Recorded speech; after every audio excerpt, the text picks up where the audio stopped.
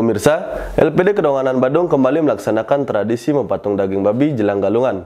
Tradisi mempatung daging babi telah dilaksanakan di Desa Adat Kedonganan rutin sejak tahun 2012, meski sebelumnya dua tahun kondisi mengalami pandemi COVID. Berikut liputannya. Pemirsa, telah menjadi tradisi di Desa Adat Kedonganan melaksanakan mempatung daging babi jelang galungan. Kali ini dilaksanakan Senin 6 Juni 2022 di halaman Pura Desa setempat. Sebanyak 3.200 paket daging babi dan ayam dibagikan kepada kerama desa Kedonganan, baik kepada kerama adat maupun kerama tamu, khususnya para nasabah. Ketua LPD Kedonganan Ketut Madro menyatakan, program mempatung daging babi telah dilaksanakan sejak 2012, rutin tiap 6 bulan saat jelang galungan. Tujuannya untuk memberikan asas manfaat kepada kerama atas keberadaan LPD Kedonganan sejak tahun 1990. Nah, ini dalam rangkaian uh, acara mempatung yang dalam hal ini kita mempatung dalam bahasa Balinya atau membagikan uh, daging babi dan daging ayam beserta uh, beras sebanyak 10 kilo. Dan hal ini uh, merupakan kegiatan rutin uh, dari LPD Desa Adat Kedonganan.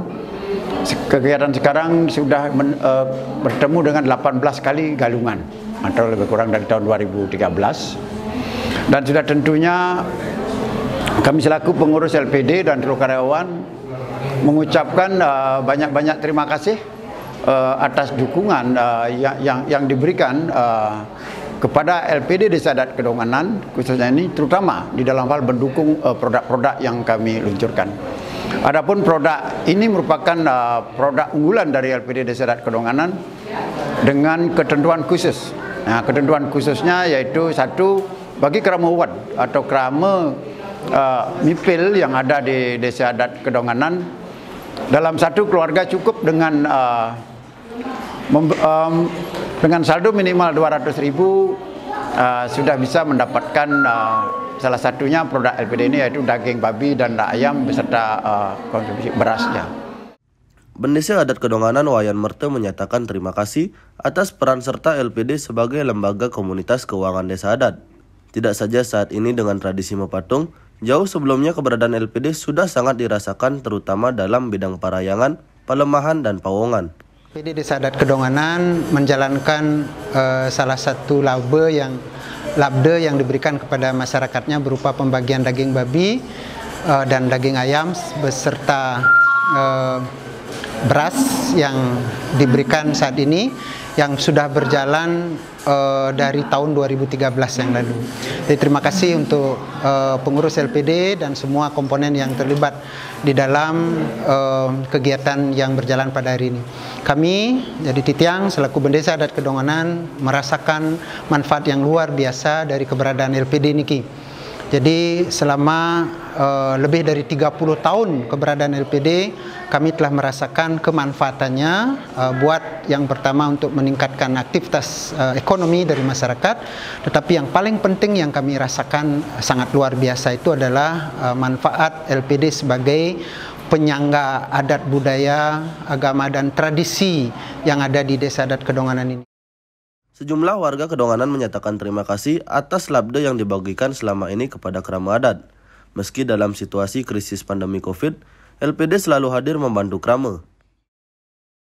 Uh, kami sebagai warga Desa Adat Kedonganan sangat berterima kasih sekali uh, atas program-program yang sudah secara konsisten dilakukan oleh Lembaga Perkreditan Desa Adat Kedonganan (LPD) uh, kami uh, atas nama uh, warga, warga adat sangat berterima kasih, merasa terbantu dan banyak-banyak sekali sudah program-program yang diberikan kepada masyarakat yang sangat bermanfaat yang perwakilan dari Serati Banten Desa Adat Kedonganan kami mengucapkan banyak-banyak terima kasih kepada LPD Desa Ketua LPD Desa Adat Kedonganan karena setiap enam bulan kita di, dikasih sembako berupa be, berupa daging sapi babi atau daging sap, ayam. Ini ke mangde setiap enam bulan mangde iraga supaya diisi dikasih kesempatan lagi suksema ke mantan. Ya, dengan adanya uh, support utai perhatian tentang adat dan budaya agama Hindu Bali yang dilaksanakan oleh LPD Desa Adat Kedonganan ini saya rasa masyarakat sangat-sangat uh, uh, antusias dan sangat-sangat mendukung semua program ini. Pembagian daging babi dan ayam kepada keramat adat Kedonganan dilaksanakan di masing-masing banjar. Kedonganan terdapat enam banjar adat. Dari Badung, Krisna Stapa Putra melaporkan.